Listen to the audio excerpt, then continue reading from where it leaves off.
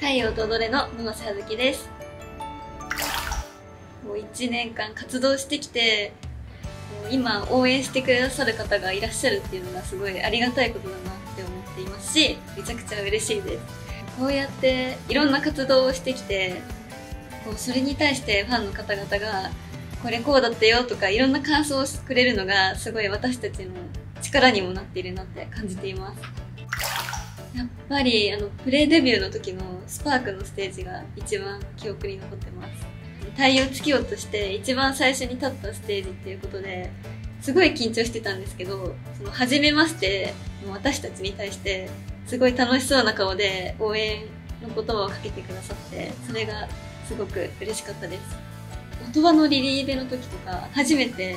こうリリーベで地方に遠征に行ったりとかっていうのをして地方でもなかなか会えない方もいらっしゃるのでそこで初めましてできた方もいて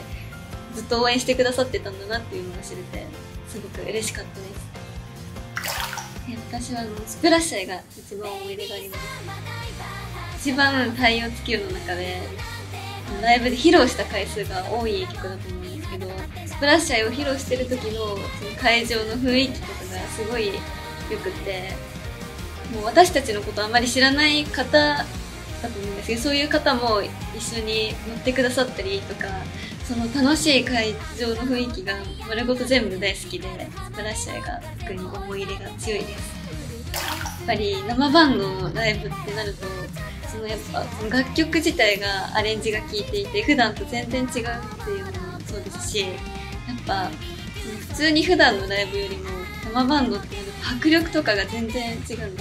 それが私たちももちろんそうですしお客さんからも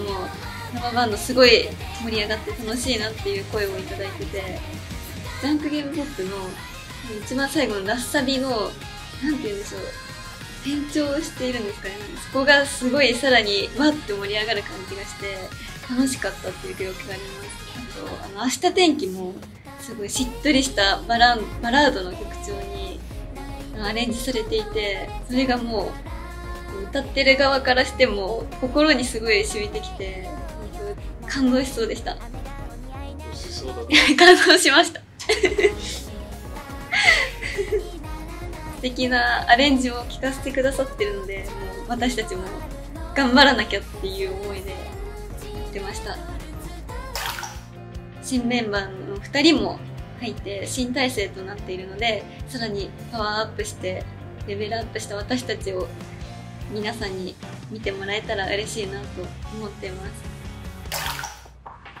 ファンの方に限らず見て初めて見てくださった方にもあの私を見ていて笑顔になるなとか元気をもらえるなって思ってもらえるような存在でありたいですし辛い時に見ていて心が支えられるような存在になりたいです。私自身もアイドルがすごく好きでライブとかに行くとパフォーマンスを見てすごい圧巻されたりとか感動したりとかそういうのを感じると応援していてよかったなって気持ちになるのでパフォーマンスで人の心を動かせるような存在になりたいです。新しい自分に出会える場です。